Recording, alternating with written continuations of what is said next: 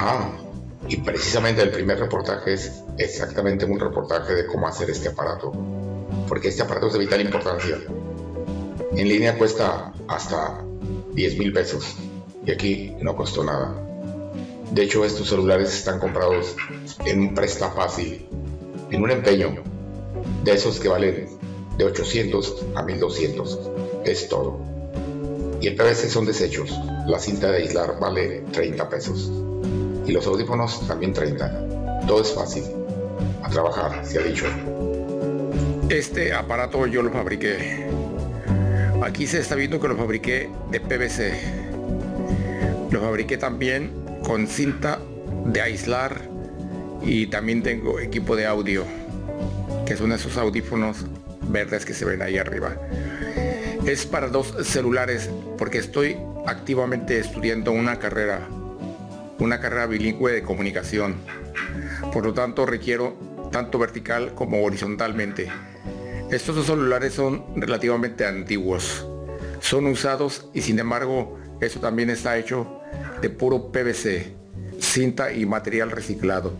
Y sin embargo todos lo podemos hacer. Les voy a decir cómo lo hice, porque es muy importante. Sé muy exótico, impresionante, pero está hecho de PVC quemado. Les voy a decir cómo lo hice en el fuego de un horno que tengo de leña. A ver, vamos a ver cómo lo hice. ¿Gratis? Sí, con puros desechos. A ver, vamos a verlo. Se requiere poner esto adentro para hacer una estructura. ¿Y cómo lo metimos? Bueno, primero ocupamos esto, que es un ángulo, un ángulo sostenedor multiusos de pared. Y este es un tubo PVC.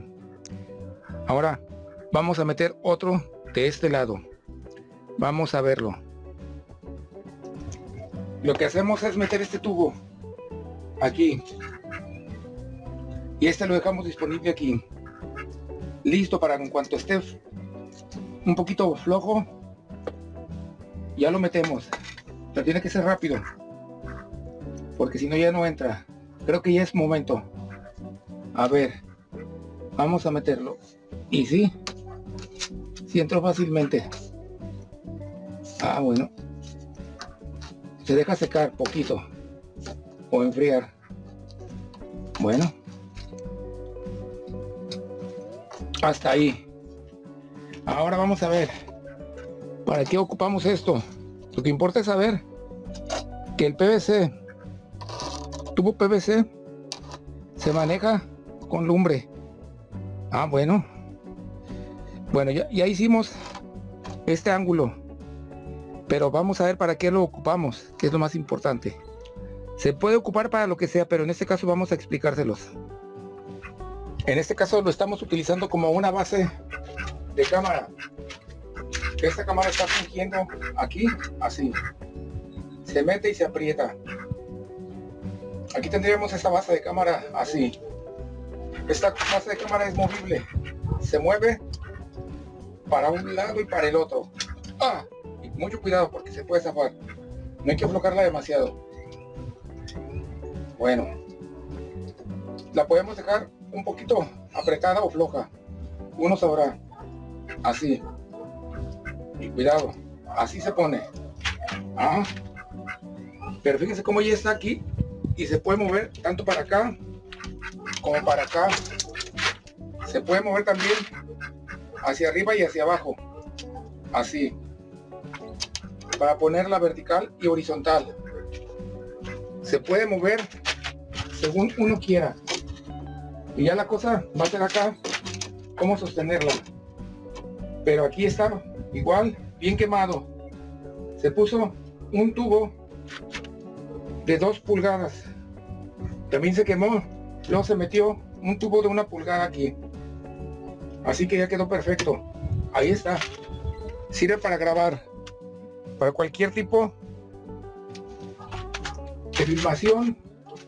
En este caso estamos grabando este huerto de jitomates. Ahora Vamos a sacarlo para que se vea más adecuadamente. Aquí está metido y detenido en esta parte. Ah, bueno, pero recordemos que esto es lo que hicimos ahorita.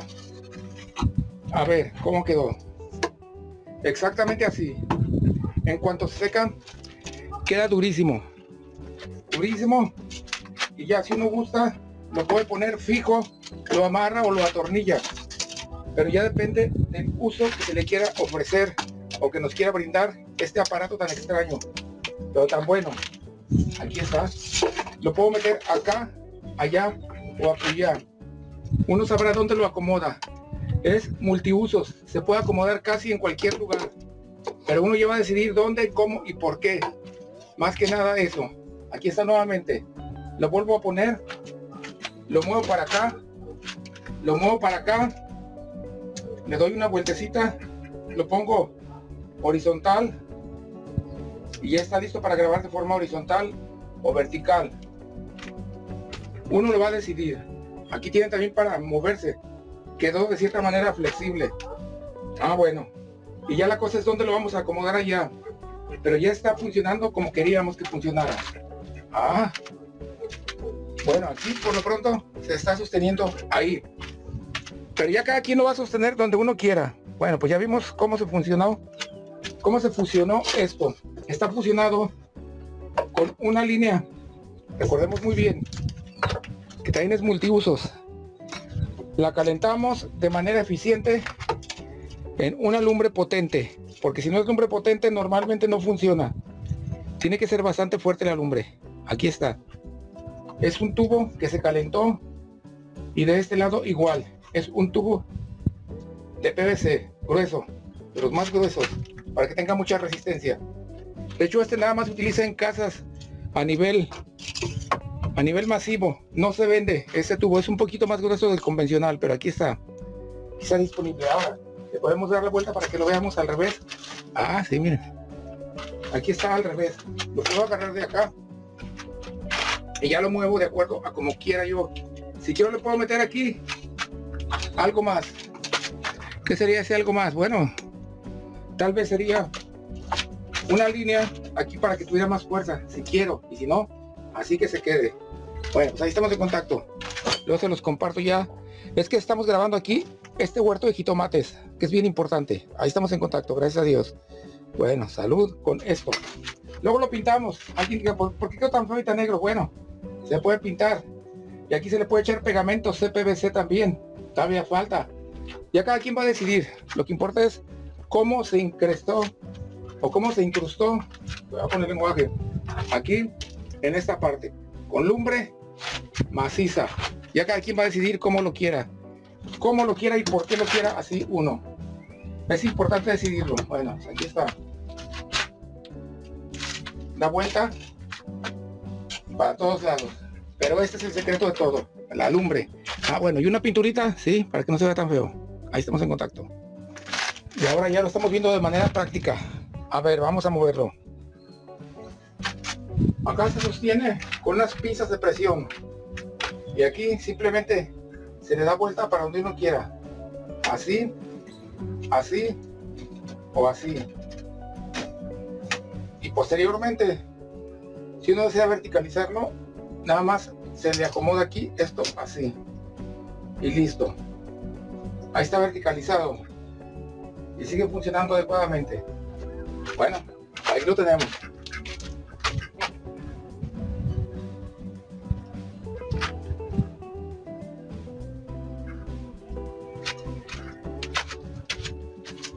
A sacar videos, a sacar reportajes.